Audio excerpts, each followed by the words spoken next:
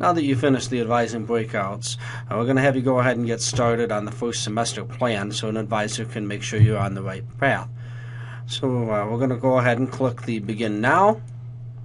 This will bring up a form with short answers. Question 1 here is asking you to indicate what semester you're planning to start classes in.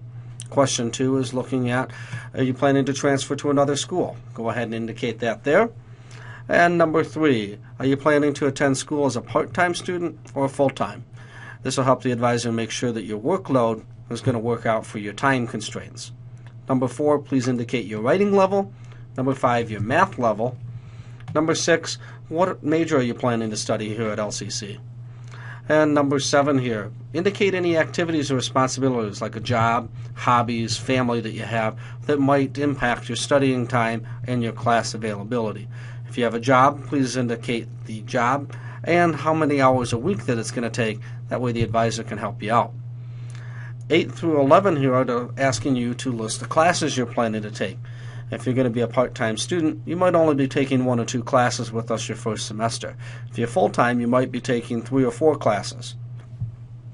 The classes you write down in questions 8 through 11 are going to be based off the advising breakout sessions you just completed. If you forgot what you wrote down, or you maybe forgot to write anything down at all, you're going to want to go back to the advising breakout session, make sure that you complete that so that you can get your course schedule. Question 12 on the form here is allowing you to ask questions to the advisor. Anything about if your major and your coursework match or whether or not classes transfer to the school you're thinking of. It's a great spot for you to ask questions. You can also refer to the discussion board for the advisors located in Lesson 6.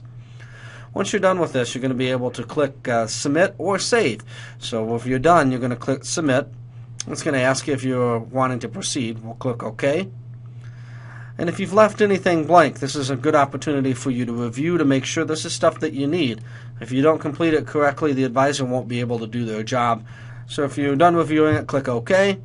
It'll submit the plan. We're going to go up to the navigational icon next, which will take us back to the progress bar. So now you've finished lesson six. There's two more to go in orientation.